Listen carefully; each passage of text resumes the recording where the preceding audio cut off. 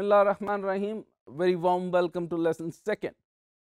Here we are going to start up with the innovation and entrepreneurship.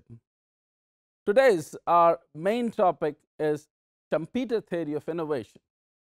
Lastly हमने इनका थोड़ा सा overview देखा था और हमने डिटेल में देखा था और आपने देखा होगा कि लास्टली बहुत सारी चीज़ें थी जिसके अंदर 11 थेरीज थी या 11 प्लस थेरीज थी उनके अंदर आपने देखते हैं कि डिवाइड छः से सात लोग जो हैं वो इकोनॉमिस्ट थे फिर हमने इसका प्रिव्यू देखा और उसमें देखा कि साइकोलॉजिकल फिर कल्चर एंथ्रोपोलॉजी और मुख्तलिफ़ डिवाइड्स के अंदर हम देखें तो बहुत सारे और थेरिस्ट ने भी काम किया, जिनमें मैक्स वेबर जो हैं, वो सोशियोलॉजी के अंदर रिलीजस इम्पैक्ट को भी देखते हैं।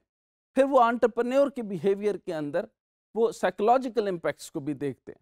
लेकिन शम्पीटर साहब से लेकर जो बाकी हम देखते हैं और मैकलेडन थेरीज को देखते हैं तो उसके अंदर जो है वो आंट्रप्रन्योरशिप जो है, वो अपने प्रॉफिट मार्जिनलाइजेशन की तरफ़ बढ़ता नज़र आता है।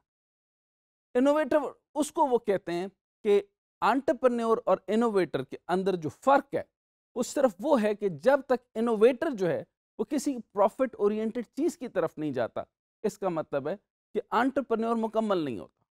यानी आप रिज़ल्ट के तौर पे समझें कि कोई भी बिजनेसमैन है उसने आइडिया स्टार्ट कर दिया। उसका आइडिया नहीं चला और फ्लॉप हो गया। तो इसका मतलब है किसी भी चलते हुए बिज़नेस के अंदर कोई भी स्टार्टअप करेंगे तो फ्लॉप की जानब चला जाए या इनपुट ना दे सके या इनपुट हो और आउटपुट ना आ सके तो इसका मतलब है हमारा वो आइडिया जो है उसके अंदर जान नहीं थी। अब देखते हैं जी शम्पीटर साहब जो हैं, वो इनोवेशन और आंट्रप्रन्योरशिप को कैसे देखते हैं। इनके आइडियाज़ के अंदर अगर आप देखें तो पहले हम देखते हैं कि इनोवेशन के बारे में ये क्या कहते हैं? और फिर सेकंड पॉइंट ये है कि इनोवेशन और को आंट्रप्रन्योरशिप में कैसे देखते हैं? ये दो, दोनों बड़े इंपॉर्टेंट पॉइंट हम इसको वाइस वर्सा लेके चलें। पहले तो नंबर वन आप इसके जहन में नशीन कर लें। वो ये कि सबसे पहले वो सर्कुलर थेरी को मानते हैं सर्कुलर फ्लो को मानते हैं। वो चाहते हैं कि मार्केट जैसे चल रही है उस मार्केट को चलने दें। प्लस उसके अंदर इनोवेटर की और आंट्रप्रन्योर की जगह तब बनती है कि वो चलती हुई मार्केट के अंदर वो इनोवेशन क्रिएट करे और इनोवेशन वो सिर्फ़ इस मसले में नहीं देते कि कोई गैप फिल कर दे। ये भी हो सकता है कि एक प्रोडक्ट जिसका नहीं लाया गया, उसको ले आए। उस मार्केट के अंदर फॉर एग्जांपल गारमेंट की एक मार्केट चल रही है, यानी उसमें बहुत सारे टाइप के कपड़ा हैं, उसके अंदर एक नया स्टोन वॉश का आप कपड़ा ऐड कर दें। उसकी मार्केट पहले नहीं थी, यकदम मुमकिन है उसकी डिमांड इंक्रीज कर दी जाए। अच्छा वो सिर्फ़ और सिर्फ़ ये बात नहीं करते कि किसी एक गैप को फिल कर लिया जाए, बल्कि शम्पीटर ये बात करते हैं कि कॉस्ट ऑफ़ प्रोडक्शन को कम करना, सप्लाई एंड डिमांड को, के इक्विलिब्रियम को बैलेंस करना और इन सर्कुलर फ्लोर को बैलेंस आउट करके मार्केट के अंदर एक नई इनोवेशन और नए डिमांड और डिमांड साइकिल को प्रोड्यूस करना, ये एंटरप्रेन्योरशिप कहलाती है। हम आगे देखते हैं चंपीटर की इनोवेशन थेरी को समझना बहुत ज़रूरी है जी। चंपीटर कहते हैं कि innovation theory of the profit was propose by who believe that the entrepreneur could an could earn economic profit by introducing successful innovation so any innovation gives you the maximise profit अच्छा वो marginal theory की तरफ़ भी बात करते हैं। वो marginal theory ये है कि आपने सप्लाई एंड डिमांड को बैलेंस करना है और अपनी कॉस्ट ऑफ़ प्रोडक्शन इतनी कम रखनी है कि जिसकी वजह से आपकी इनोवेशन इंक्रीज कर जाए। इसका मतलब ये नहीं कि वो प्रोडक्ट या क्वालिटी के ऊपर कॉम्प्रोमाइज़ करना चाहते हैं, बल्कि वो बेसिकली तो ये कहते हैं कि अगर आंटरप्रन्योर नहीं होगा तो मोनोपली बढ़ जाएगी। मोनोपली अगर नहीं होगी तो ओलिगोपली बढ़ जाएगी डिओपली बढ़ जाएगी। सो मुख्तलिफ़ चीज़ों को सेटल डाउन करने के लिए आंटरप्रन्योर जो है, जो डिफरेंट आइडियाज़ के साथ आते हैं यानी इसका मतलब है कि उनका गेट वे जो है, वो आंटरप्रन्योर्स पूरी मार्केट को चेंज करते हैं और टफ टाइम देते हैं उन मोनोपलिस्ट को, जो कि अपनी एक अजारादारी कायम करते हैं। अजारादारी से मैं मज़ीद और भी समझाता जनू आपने अक्सर लफ्ज़ सुना होगा कि कार्टल्स बन जाते हैं। यानी दो या तीन लोग या तीन या चार बिजनेसमैन जो है, वो एक ही एरिया में काम करते हैं और कार्टल बना लेते हैं। या एक आदमी है ये जिसकी पूरी की पूरी रॉ मटेरियल के रिसोर्सेज के ऊपर उसकी अजारादारी है। तो मुमकिन है जब रिसोर्सेज के ऊपर मेरी अजारादारी होगी तो मैं बाकियों को रिसोर्सेज यूज़ ही नहीं करने दूँगा। अब आंट्रप्रन्योर क्या करता है?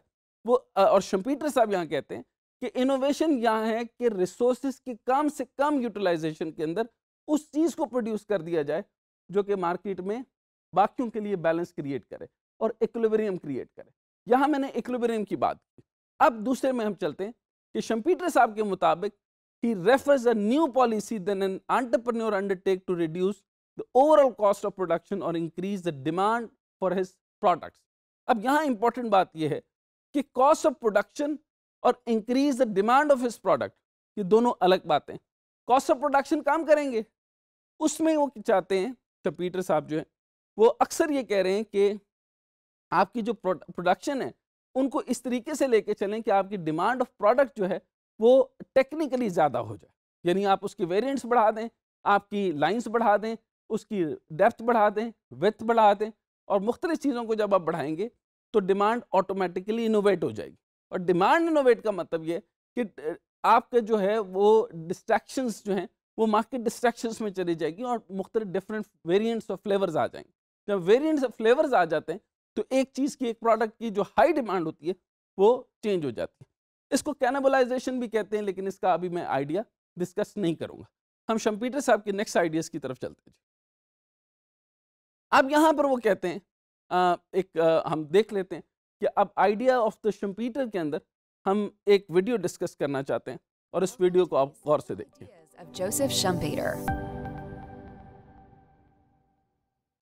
For those aware of Schumpeter, it's likely his work on the nature and importance of entrepreneurship where he made his greatest contributions to economics.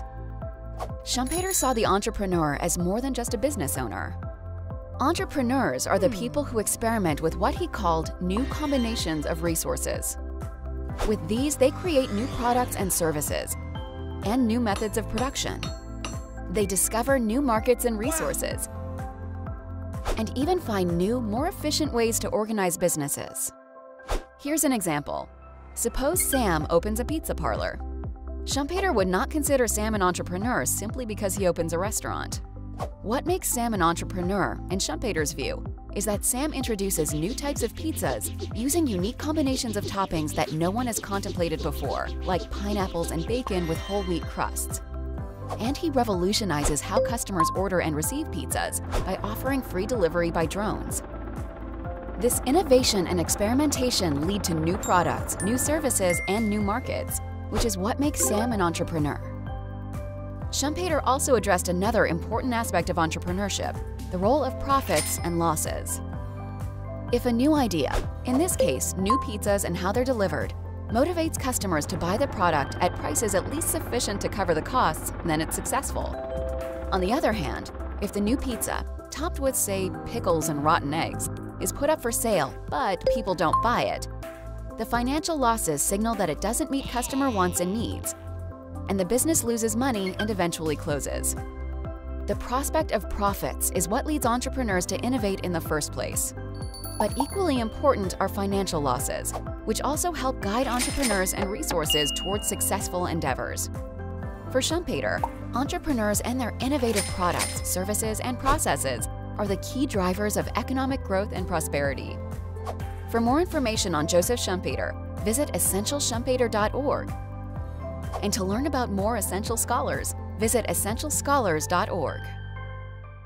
अब आपने देखा कि इस वीडियो के अंदर आपका कॉस्ट फ्लो आपकी प्रोडक्शन फ्लो आपकी मार्केट डिमांड आपकी मार्केट सप्लाई इन तीनों के अंदर जो है, वो मार्केट के अंदर इन चारों फैक्टर्स के अंदर इक्विलिब्रियम क्रिएट करना, यानी सर्कुलर थेरी कहलाता है। इस सर्कुलर कैश फ्लो थेरी के मुताबिक ये तीनों, चारों फैक्टर्स जो हैं, वो जब इक्वल हो जाएँगे और इक्विलिब्रियम डिमांड और सप्लाई का बैलेंस हो जाएगा, उसमें कॉस्ट ऑफ़ प्रोडक्शन कम होगी इफेक्टिवनेस ज़्यादा होगी और इनोवेशन मार्केट में ज़्यादा होना शुरू हो जाएगी, जिसकी वजह से हमें रिजल्ट्स जो हैं, वो बेहतरीन मिलेंगे।